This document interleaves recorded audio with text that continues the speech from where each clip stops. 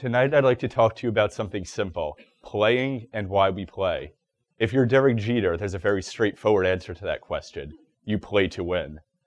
Whether he was playing a baseball game for the Yankees, board game with his friends, or just watching Jeopardy on the couch, Derek Jeter hated to lose above all else. And that worked out well for him. He's one of the winningest athletes in modern times. But that's not the only way to play.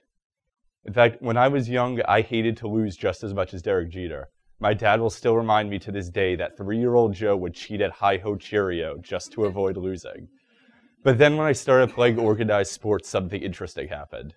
I became a goalie. For those of you who aren't familiar, goaltending is a terrible, terrible position that forces you to fail a lot. You could be playing a perfect game and have a shutout going, only for the puck or ball to bounce off your teammate and into the back of your net. There's nothing you really could have done about it, but it's still your fault. So after seeing plenty of goals go past me, which I still hate more than anything, I learned something. What I hated about losing was feeling like I had done something wrong or like I wasn't good enough. But I also learned that failure is part of sports and it's part of life. And what matters is how you respond to that. You can lose and not be a loser. But learning from sports isn't something that just happened to me. In his Republic, Plato talked about how education needs both physical and literary components. Those two had to remain in balance, though, because a purely physical education would neglect a man's mind, and a purely literary education would leave his body indecently soft. But Plato's education was about producing a good person, a good leader, a good warrior. And for Plato, the idea of good was linked with truth. And from an experiential perspective, that makes sense. Sometimes the best way to learn something is just to do it. It's one thing to have a literary definition of a virtue, let's say fortitude, meaning strength in a difficult or painful situation. It's another thing to know it through your own personal experiences, maybe by refusing to quit in a wrestling match against an opponent who's stronger than you. But in his laws, Plato also wrote that the first and best victory is the mastery of self. And we can see that in his famous allegory of the cave, which explains how you move from seeing shadows we think of as the truth to the actual truth. Not only do you have to get yourself out of the cave, but you have to learn to see the light. And it's a struggle, but you're better for doing it. Not only do you understand the virtues better, but you understand yourself and how you relate to them. Writing in the 1700s, Jean Jacques Rousseau said similar things about experiential learning in his treatise on education. He said that a child should be left as alone as possible for the first few years of their life so they could learn through doing. And while some of his examples, like letting a child go outside in the cold, may seem a little silly today, they still hold water. If you let a child go outside in the cold, they not only gain something physical, they're hardened against the elements, but they gain larger, more conceptual skills. Maybe the next time they'll remember to bring a coat. That's preparation. or the next time they find themselves in a difficult situation, they'll be able to think back to this situation and how they got through it. Those are all things learned by doing. And the developmental psychologists like Piaget and Kohlberg, they said that social skills were learned through peer interactions. If there's an adult involved, there's fundamentally a power dynamic. The child will defer to them out of respect for their authority and the fear of being labeled a bad boy or girl. But when there are two peers interacting, either party can refuse the other. So you're not only learning things like how to coexist in a group, but you're learning larger concepts such as how to lead and how to be led.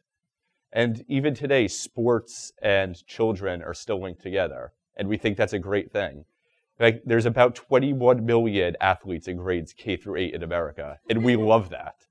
We think it's great that your child joins the swim team to learn about teamwork or plays tennis to make friends and stay in shape.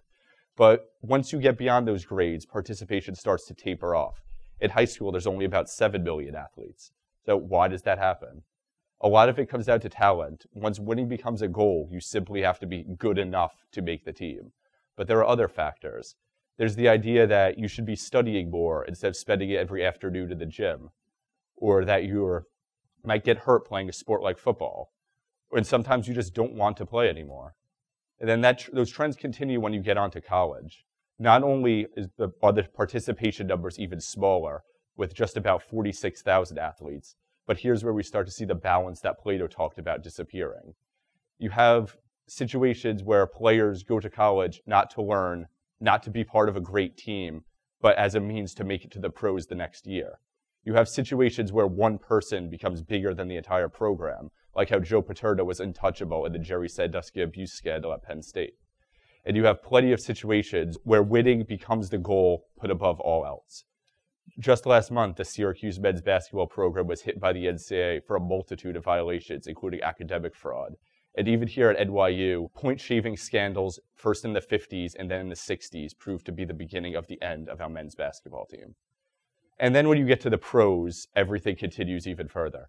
Not only are there just about 15,000 athletes, but you get guys like Alex Rodriguez who do things like deny using steroids, then admit to using steroids and serve a one year suspension, and then rejoin their team a year later as if nothing has happened. So, with situations like that happening seemingly every day, you might ask, why does sports still matter? Why does someone like me still think they're important? And for that, I love to refer to American philosopher and theologian Michael Novak and what he wrote in his essay, The Joy of Sport. He said that sport gets to the heart of the human existence, and there's a certain truth that comes with it. There's nothing like the smack of a baseball off of the fat true center of a bat. And if you think back to those virtues we touched on earlier, we have a tendency to intellectualize them, look at them passively and from afar. This historical figure showed great camaraderie. This philosopher said X about fortitude. And that's great, but something can be learned from doing it and experiencing it and feeling it for yourself. For example, we can look at this image of the Spartans and understand their camaraderie before a great battle. Or we could play sports and feel the bond with your teammates that grow over a long season. You could look at Botticelli's fortitude and see a strong woman in a suit of armor who wasn't ready to back down from anything.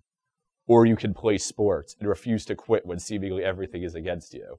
Or you could look at the oxbow and how it captures the sublime, that moment of awe that's sort of outside our ability to articulate or you can play sports and do things that the human body, by all accounts, shouldn't be able to do.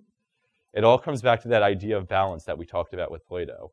Plato loved the academy and he loved philosophy, but he was also a wrestler and would want you to wrestle or throw the frisbee around or go play some pickup basketball. It's a balance of both and how you learn from both together. So to conclude, I'd like to ask you to do something simple. You might not have been asked this in a while, even though you might wish you had been. Go outside and play. Thank you.